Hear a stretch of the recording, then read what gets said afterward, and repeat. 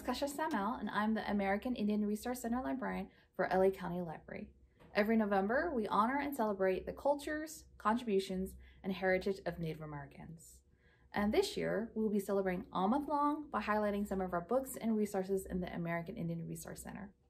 Every week in November, we will introduce a book or resource that has Native Americans as its focus.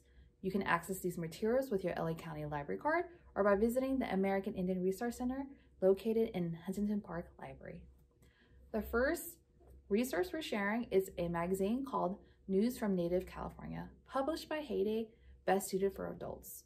News from Native California focuses on bringing Native perspectives to the forefront and sharing vibrant cultures, arts, languages, histories, social justice movements, and stories of California's diverse Native people. We have the first volume, published in 1987, to its most current issue today.